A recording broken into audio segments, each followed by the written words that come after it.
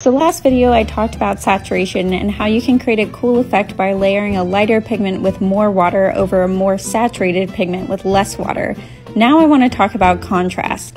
Typically for other mediums I would never tell you to mix your paint with black, but for watercolor it's kind of essential to get your colors to look darker and richer so they can really pop.